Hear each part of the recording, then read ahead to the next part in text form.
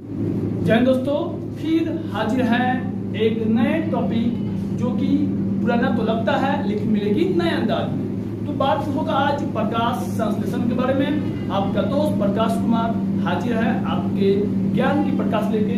वह है प्रकाश संश्लेषण। तो होगा प्रक्रिया, इसका नाम है प्रकाशन जो प्रक्रिया है, वह एक प्रक्रिया के तहत गुजरता है? वो कौन सी प्रक्रिया है? याद रखिएगा एनाबोलिक एनाबोलिक होता क्या है एनाबोलिक आप जब पढ़िएगा उसमें आपको मिलता है मेटाबोलिज्म मिलेगा।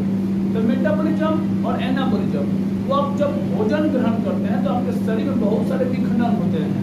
उसी प्रक्रिया में आता है आपका एना एनाबोलिक आता है। अब मैं बता दूँ आपको कि ये जो प्रक्रिया है एनाबोलिक, वह इंजाइम द्वारा नियंत्रित होते हैं। आप, क्या होता है जब प्रकाश प्रक्रिया होगी, वहाँ पे कुछ इंजाइम की होना भी उपस्थिति होती है, जिस कारण प्रकाश संश्लेषण की प्रक्रिया को पूरा करता है। बात करेंगे इसमें होता क्या है? अच्छा एक बात आप लोग गौर किए हैं क्या? जब प्रकाश संश्लेषण की प्रक्रिया की खोज किसी के द्वारा ज़रूर हुई होगी ऐसा थोड़ी ना है कि कोई आया बोल दे कि प्रकाश संश्लेषण होता है। इसके बहुत सारे वैज्ञानिक भी हैं, लेकिन पहला वैज्ञानिक आते हैं जिनका कंसेप्ट बताया गया था, सत्रह सौ सत्ताईस यानी कि सेवनटीन ट्वेंटी सेवन उनका नाम था एस्टीपन बुल नामक एक वैज्ञानिक थे जिन्होंने बताया कि प्रकाश संश्लेषण के द्वारा ही पौधे अपना भोजन बनाते हैं। अब इसमें क्या होगा? इसमें जो जहाँ कोशिका होगा, वहाँ पे क्लोरोफिल होना बहुत ज़रूरी है। यानी कि खास कर उस प्लांट में जहाँ क्लोरोफिल होगा, वो क्या होगा? उस क्लोरोफिल युक्त कोशिका के द्वारा CO2 और जल और ऊर्जा का ग्रहण होगा। अब आपके माइंड होगा कि प्रकाश संश्लेषण में तो ऊर्जा नहीं लगता है। भाई, ऊर्जा होता है वह सूर्य की प्रकाश की उपस्थिति में जो एनर्जी होता है, जो कि विकिरण के रूप में होता है, वही ऊर्जा होता है। आप ऊर्जा मतलब सोचो कि सिंपल जो आप समझते हैं। विकिरण भी एक प्रकार का ऊर्जा है, उसी के रूप में ग्रहण किया जाता है। अब होता क्या है, समझिए बात। आपको मैं पहले बोल दिया कि प्रकाश जो होता है सूर्य प्रकाश होता है, वो विकट ऊर्जा के रूप में होता है। ये क्या करता है? ये विकट ऊर्जा होता है, वो संचित होता है किसमें? कार्बोहाइड्रेट के रूप में, कच्ची रूप में? कार्बोहाइड्रेट के रूप में। अब इसमें जो रिएक्शन की प्रक्रिया होती है, देखिए, जैसे आपको वीडियो खत्म होगा, आपका अंत में पाँच छः लगभग आपको बेस्ट क्वेश्चन मिलेगा।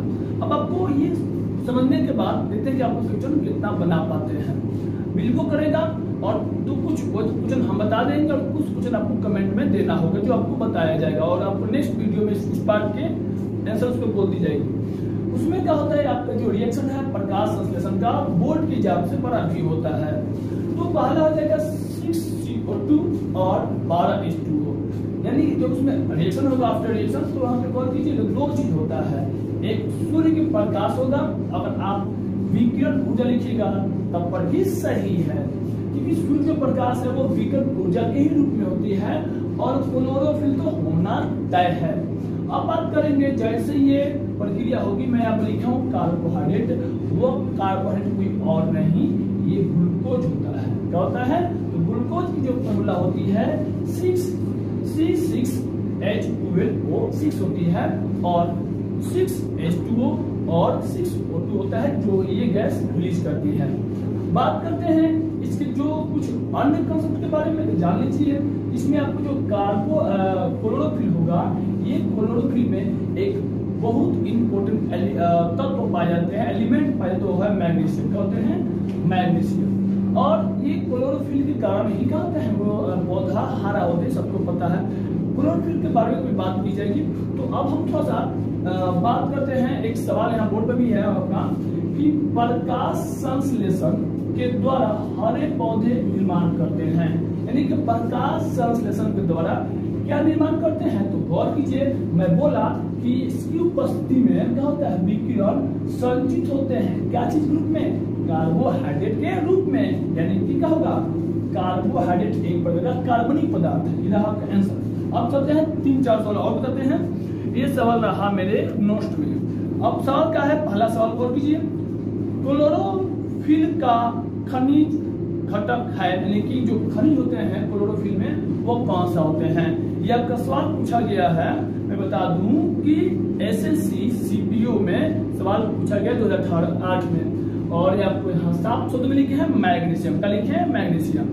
नेक्स्ट सवाल था प्रकाश संश्लेषण की लगभग उल्टी प्रक्रिया क्या होती है? यानी कि जो प्रकाश संश्लेषण की प्रक्रिया होगी, वो इसके उल्टा में क्या होता है? तो याद रखिएगा आपका, ये हो जाएगा लकड़ी का जलना। कहा जाएगा लकड़ी के जलना। ये भी आपका सवाल पूछी गई थी एस एस सी दो हज़ार बारह में। ठीक है? नेक्स्ट वाला जानने को मिलेगी कि प्रकाश ऊर्जा का रासायनिक ऊर्जा में रूपांतरण निम्न किसके द्वारा होता है? तो इसका आंसर आपको मैं बता दूँ। कि जो आप जितने भी आप तत्काल में पढ़े हैं, आपके सामने इसका आंसर है, प्रकाश संश्लेषण द्वारा। प्रकाश ऊर्जा का रासायनिक ऊर्जा में रूपांतरण निम्न होता होता है, लेकिन रासायनिक ऊर्जा के तहत क्या होता है? कन्वर्ट होते हैं। और एक बात और याद रखिएगा कि जो प्रकाश प्रक्रिया है, ये रासायनिक प्रक्रिया है। अभी रासायनिक प्रक्रिया में कौन सी रासायनिक प्रक्रिया है? तो आप रेडॉक्स अभिक्रिया का नाम सुने होंगे। इस जो कि ऑक्सीकरण और अपरण दोनों आते हैं। यानी कि एक में ऑक्सीजन टूटेगा तो एक बार ऑक्सीजन किसी में टूटेगा। ये प्रक्रिया होता है रिडॉक्स अभिक्रिया कहलाता है, या उच्चरण अपचरण अभिक्रिया भी कह सकते हैं। नेक्स्ट सवाल की हम बात करें, निम्नलिखित में कौन सा प्रकाश संश्लेषण प्रक्रिया के लिए आवश्यक है? मतलब निम्नलिखित में कौन सा गैस प्रकाश संश्लेषण के लिए आवश्यक है? मैं बता दूँ आपका ऑप्शन देखिए आपको देखिए यहाँ पे, जब प्रक्रिया हो रही है यहाँ पे, आप देखो सिक्स सीओ टू है तो इसका आंसर क्या होगा? सिक्स सीओ टू आप पता है सवाल कहाँ पूछा गया था?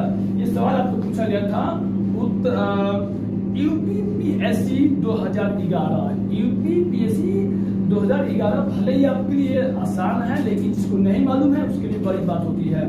नेक्स्ट सवाल की बात करें तो सवाल आ जाएगा कि प्रकाश संश्लेषण में द्वारा पौधे नीम में कौन सी गैस उपयोग की जाती है? तो मैं भी बता दिया कार्बन डाइऑक्साइड ये भी आपका सवाल पूछी गई है ये आपका उत्तराखंड पीएससी में। मैंने कि सवाल बहुत से घुमा के पूछी जाती है और अंत में एक सवाल आपके लिए है वह सवाल ये रहेगा कि पौधे और पेड़ पौधे और पेड़ का खाना तैयार करने की प्रक्रिया क्या कहलाती है? आप सुझाव दीजिएगा। और एक आसान सवाल है जो आप बता, बता सकते हैं। एक सवाल और होगा? सवाल क्या होगा वो? फ़र्स्ट गौर कीजिएगा। सवाल ये रहेगा कि पैरावेगनी क्षति से पादपों की रक्षा करने वाला वर्णक कौन होता है? तो आपका ये आंसर रहेगा और हम कमेंट का इंतज़ार रहेगा और फिर अगले वीडियो इस पार्ट में आपको मिल जाएगी। तो फिर मिलते हैं नेक्स्ट वीडियो में।